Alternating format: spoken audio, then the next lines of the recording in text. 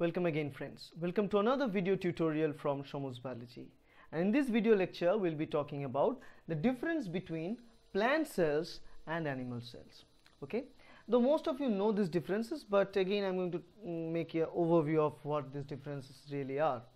And you know uh, uh, you can find so many differences in different sources out there but I'm going to tell you the major differences that we have in a plant cell in an animal cell.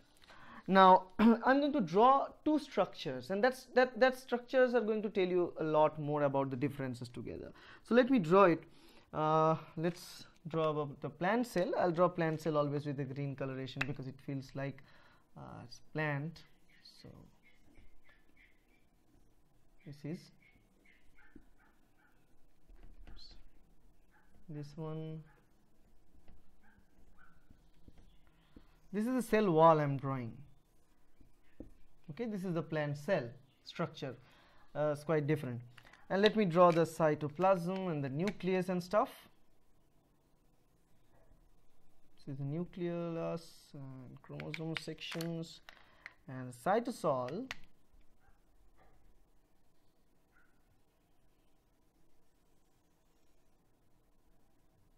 these are the cytosolic contents.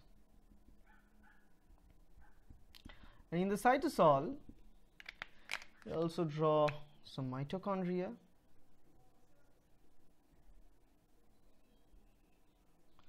And we also draw some chloroplast.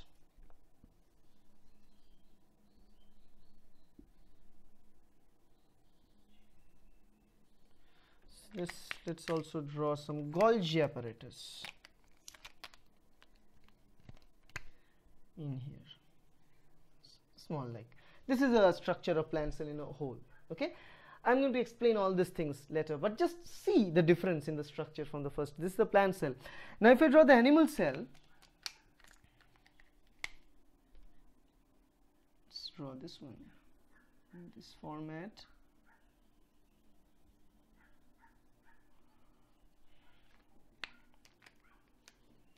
And inside the nucleus and I'll draw the Golgi apparatus. And so on. Okay.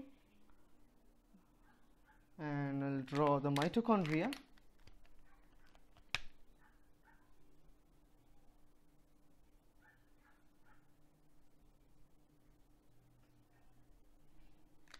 Draw some vacuoles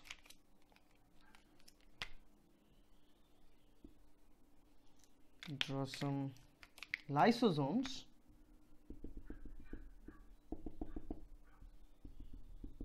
These are the cilia that comes out of the cell. Of course I need to draw the uh, rest of the things are there. I need to draw the centriole. Different color. Take blue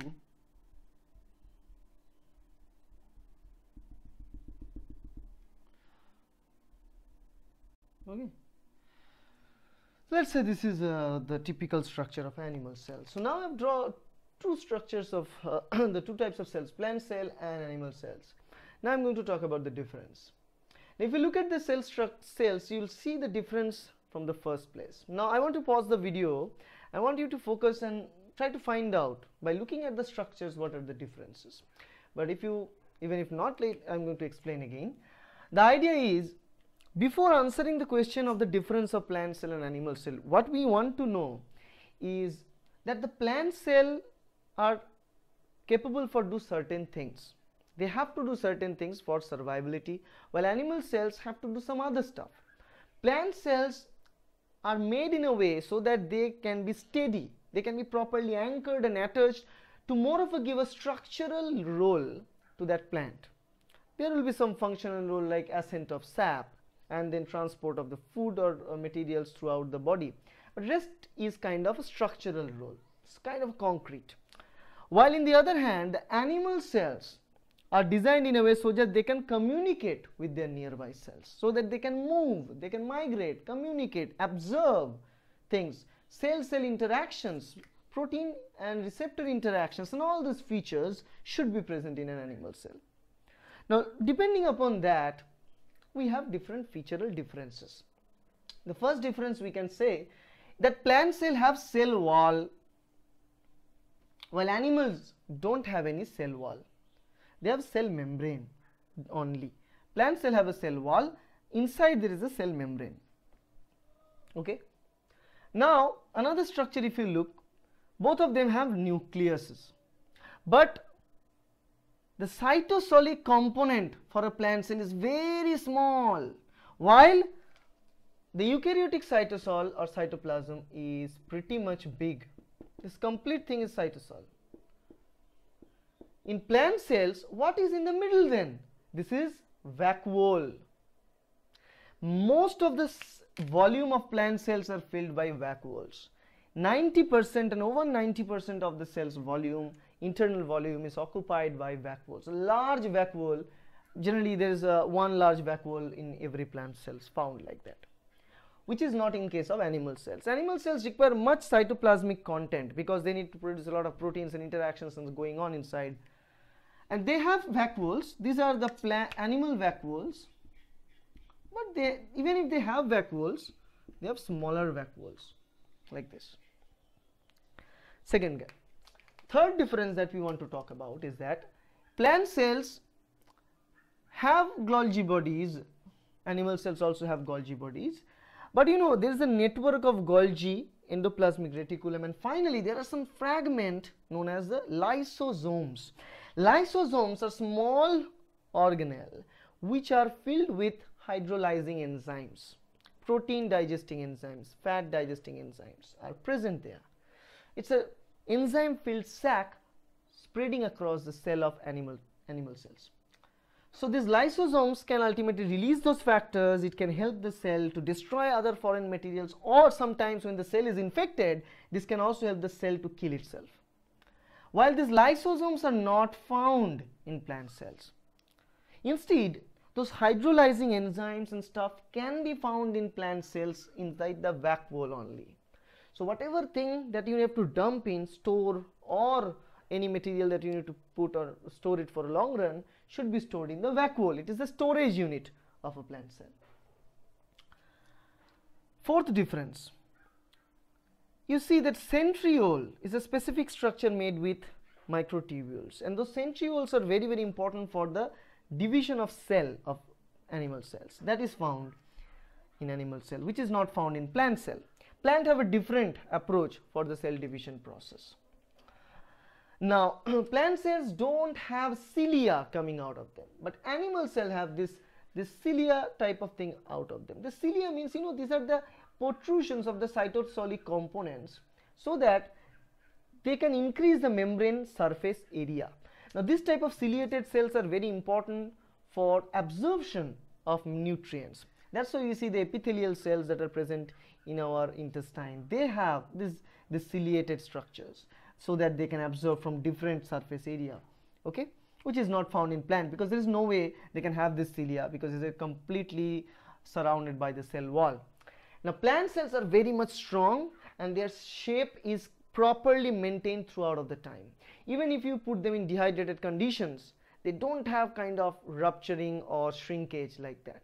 They can kind of let's say the plant can be steady or it can be some, some somewhat weak but it's not completely shrinked but in animal cell as is completely depend on the cell membrane they can have problem with dehydration right? If we put them in the in some some salt change uh, the, the internal concentration change solution salt change uh, concentration change solution either uh, sometimes they can either burst or they can shrink depending upon the type of tonicity of the solution that we put them in. That is not the case of in the plant cell plant can be like flaccid or it can be very strong depending upon the time. Another difference plant cells have chloroplast in them because chloroplast contains chlorophyll. Chlorophyll is required for the plant to produce their own food which is completely unique feature for the plants which is not found in animal cells. Animal cells don't have any chloroplast or any source of chlorophyll there. They only have mitochondria as a double membrane organelle here. In this case here they have the chloroplast as double membrane. Now there are others like nucleus is also double membrane but uh, animal cells don't have any chloroplast there. Sometimes they also have some chromogenic uh, components like a chromoplast where they have like uh, different keratin carotenoids or all this type of uh, colorogenic compounds present in the plant to give different colorations which is not common in case of animals because in animals the pigmentation pattern can be of two different types here in general cases like uh, melanin is uh, doing that. But in case of some animals like fishes and birds they have the color uh, substances and stuff but it's not like any chloroplast or something like that. They have different process for that. Okay? Another difference I want to talk about is between how the plant cell is communicating with the fellow plant cells. If you see here, this is the middle plant cell. If, I, if we imagine other plant cells are surrounding it, they have an interaction between the plant cells. So they have a small tiny tiny room between the plant wall and membrane through which the cytosol from one plant cell and the components from one plant cell can migrate to the next one. This linkage is known as plasmodesmata. This is unique for the plant cells. Animal cells don't have plasmodesmata, but animal cells have a different way of interacting with the nearby cells. And there are more than one type of interactions between two consecutive plant cells, uh, two consecutive animal cells. Let's say this is this is two consecutive animal cell. There are several type of interactions are possible some interactions where two membranes are properly tied known as tight interactions. Some regions when they are open and they can transport materials known as desmosomes. Some region where they are free, they are not properly tied or attached known as the known as the open or gap junction. So there are tight junctions, there are gap junctions, there are desmosomes through which they can do the cytosolic streaming between the nearby cells are possible in case of animal cells which is not found in case of plant cells. They have only one method that is plasmodesmata. Okay. Now if we talk about the difference in sense of cell division, I told you that animal cells have centriole which is the microtubule organizing center. So the centriole or microtubule organizing center properly organize the chromosomes in the central plate of a cell and those microtubules originated from two ends of the centriole because the centriole is duplicated before the division process then those microtubules originated from the centrioles can attach with each centromere of those chromosomes and then they can drag those chromatids apart from each other. This is possible and that's how they can divide the cell. So this microtubule organizing center help the cell to be properly, the chromosomes to be segregated and the cell to be divided. And after that the cytokinesis process takes place Cytokinesis means the division of the cytosol and that is due to the process known as furrowing. Let's say this is a cell, this cell struck, this is going bigger, a furrow start to form, that means a cleavage pattern start to form. Finally, they are joined together and two new daughter cells come in. This is known as a furrowing. Let's put arrow here. Known as a furrowing. Pressure from terminal ends separate them together. But the cytokinesis of plant cell is formed due to the origination of some sort of cytokinesis plate or central plate.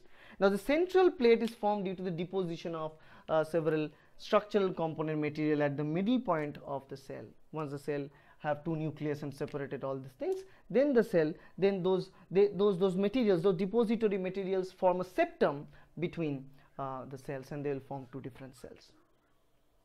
Another thing I want to say, you know, there are so many differences you can talk about. Now, another major difference I can talk about is in plant cells, uh, they can be a storage units and they can store carbohydrates.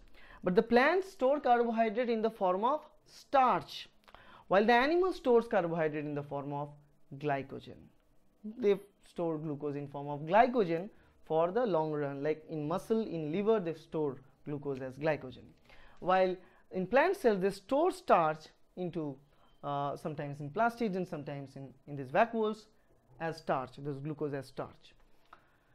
So this in a sense is the major differences between an animal cell and a plant cell okay? And we also know this this is not only the difference about how the cells look like but if you look at the higher organization of a plant and animal you'll find so many diversifying so many diversification and differences together. But from the cells perspective these are the major differences that we know of. Now if you look at so so this is the overall thing. I don't want to talk about much here so i hope this video helps you. If you like this video you definitely subscribe to my channel hit this like button and share this video with your friends. Thank you very much